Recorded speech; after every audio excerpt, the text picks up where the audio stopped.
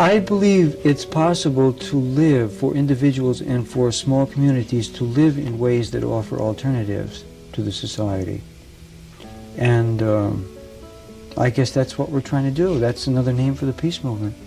It's to offer a better way of being human than is commonly available.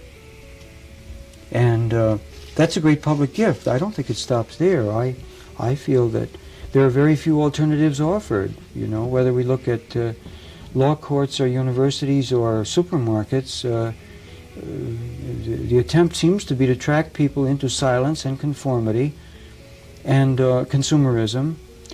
And um, as I sort of wander around the country, the real alternatives I see are in small groups of modest people doing concrete things for people.